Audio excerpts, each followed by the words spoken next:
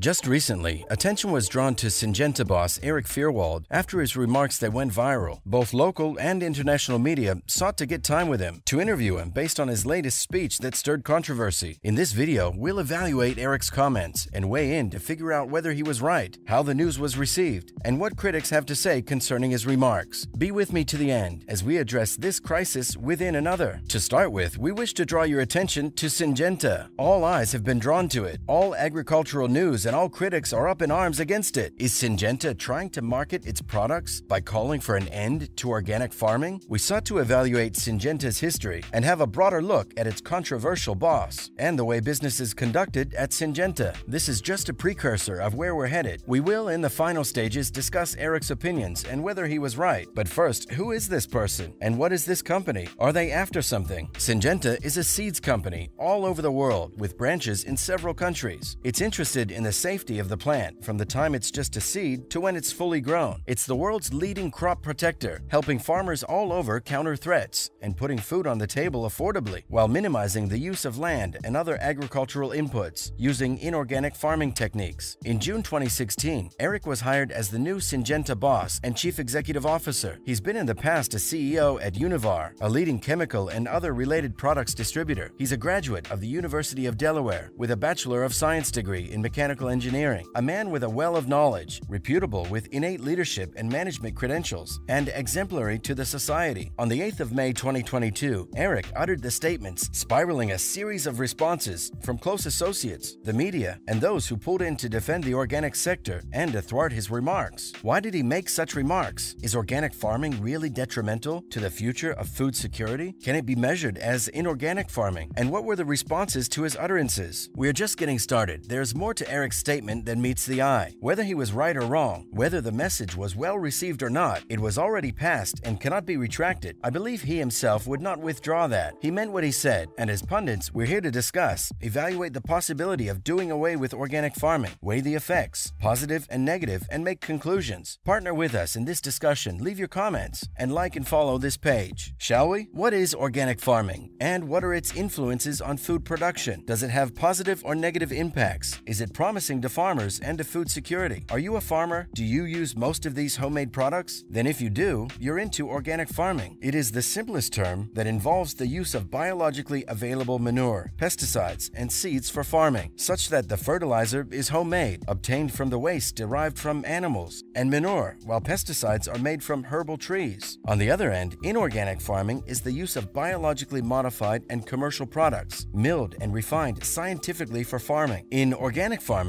food isn't grown with synthetic fertilizer, nor are the seeds taken through production in industries. Everything is done traditionally. Eric feels that this traditional way of doing things puts food security hanging in the balance. Are his sentiments true? Before we reach our verdict, then maybe we should delve in and learn one, two, or more things concerning organic farming and inorganic farming. Now let's talk about organic farming. Since long ago, all farmers practiced organic farming. It is until modernity came, with more specialized ways of doing things, that people started shifting. Organic farming is more of subsistence than cash. It's practiced on small parcels of land using traditional farming methods. Seeds are preserved manually. No additional chemicals are involved, and the fertilizer used in all stages is organic. That is, it's derived from animal manure and other compost dirt. What are the merits and demerits of organic farming? Well, below are the highlights. Merits reduces soil erosion, uses fewer pesticides, aids to recycling animal waste back to the farm, is cost effective, provides a friendlier working environment for farmers. Demerits low yields, is tedious and tiring, so sensitive to economic decline, can't benefit from synthetic organic chemicals, labor intensive, organic farm products are so expensive. So, how about inorganic farming? Inorganic farming is a more improved version of organic farming. It's modernized with sophisticated farming equipment and fertilizers with higher yields. Eric feels that organic farming should be dropped in favor of it and that farms can be utilized fully in this way. He seems to be marketing inorganic farming, since that is what Syngenta is deeply engrossed in. However, so many questions arose from what he just said. Some went wild, some backed him, and we were asking endless questions. Eric should have been as far as to openly address these challenges. What is left after his remarks are opinions and debates. Is organic way better than organic farming? If yes, then how? And what are the negative effects it yields? We're not going to back up Eric's wishes before we're fully furnished with enough data to back our support for him. It would be better if we sat on the fence than follow his chorus and call for an end to organic farming, minus pondering more on the issue, or deny his wish and deem it invalid without assessing what it could have in store for the generations to come. Is inorganic farming king? Is it worth the investment? Inorganic farming entails the use of man made products in farming, from machines, pesticides, seeds, fertilizer, hormones, soil, and antibiotics to many other chemicals. There's a wide feeling, and perhaps that's what motivates Syngenta's CEO, that inorganic farming is more valuable and productive than organic farming. The comparison of its advantages over those of organic puts it at the forefront of defense by various, several farmers and organizations. What are the advantages of inorganic farming? The advantages of inorganic farming include and are not limited to 1. Inorganic fertilizers, unlike organic ones, act immediately. They do not need to decompose to be able to function. They react in a matter of days. 2. Organic fertilizers provide a rapid dose of nutrients. 3. High yields. 4. Due to mechanization, it's less tiring and time effective. 5. Can be practiced on large pieces of land. Inorganic farming seems to be way better compared to organic farming, but is there a need for organic farming to be done away with? Could that even be possible? What would be the reaction? Should we brace for a change in the coming days? Does organic farming have a hand in the current food crisis? Truth be told, there is a massive food crisis world over. People are reeking of hunger and poverty. Subsistence products can't be enough for homes. People are dying out of hunger, and it seems Eric is directing the blame to organic farming. It would be hard for us to tell from a neutral ground if really organic farming is causing all the pain. Should we or should we not take sides? You say we should? Eric might have been right, but we cannot underscore the fact that organic farming puts food on the table for billions of families worldwide. So if they should stop organic farming and embrace inorganic farming, then that might take another hundred years for adaptation. Furthermore, the cost of organic farming is lower. Inorganic farming is more costly,